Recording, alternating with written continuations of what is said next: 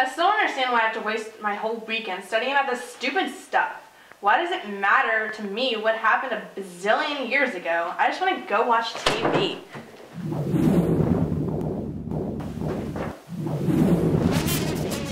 Wait, what? Who are you? What are you doing in my room?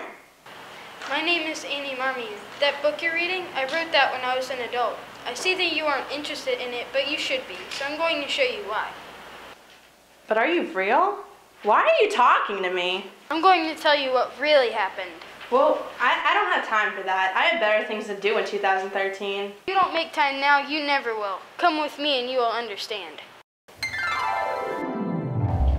Wait, where are we? Who are these people? This was my house as a child, and that is my family. We were a happy family, as you can see, but the war changed that. Just a few months before, a real battle had come to this town. We spent many sleepless nights in the cellar, while my father, as the only doctor in the town, was called to assist citizens caught within the crossfire. Everything we believed in, everything we loved was threatened.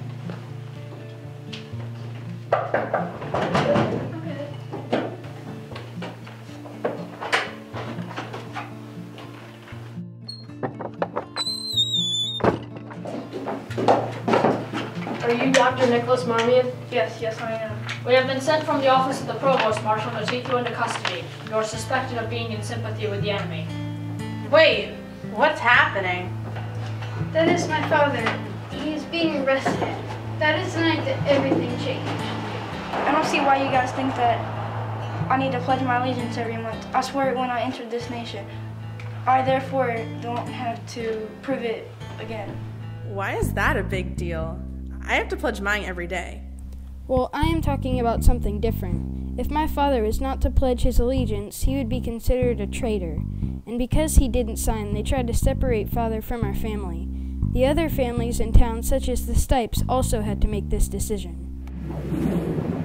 I think I've heard those names before, but who were they? Miss Stipes is the landlady of the local boarding house. While my father defied the army, she took care of many of the soldiers who were posted here, doing their laundry and such. Dr. Marmion's been arrested! What? He can't be arrested. He's the only doctor in this town. I must go and speak on his behalf. Hopefully the provost marshal will hear me out, since I am currently on good terms with him. Girls, stay here and mind the house while I'm out. This is also terrible, but why should we care if this happened so long ago? Let me show you.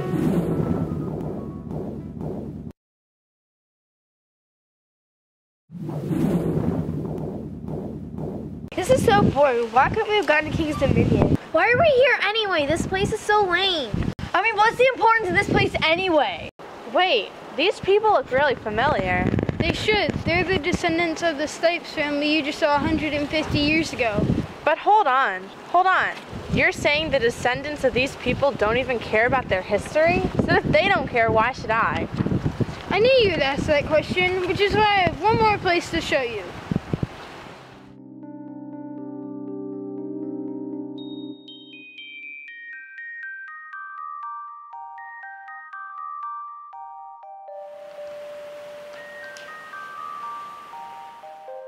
That's right, folks. Once we knock down this old building and this garage looking thing, You mean John Brown's fort?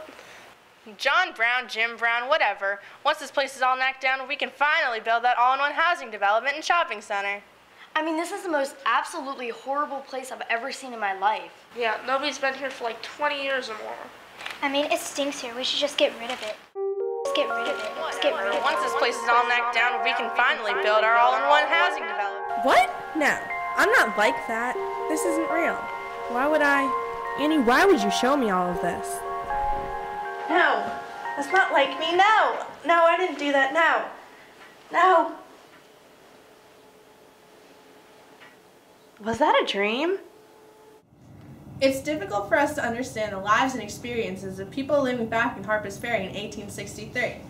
But I now realize that if we do not understand the history of the time, we will lose our town, our community, and our history forever.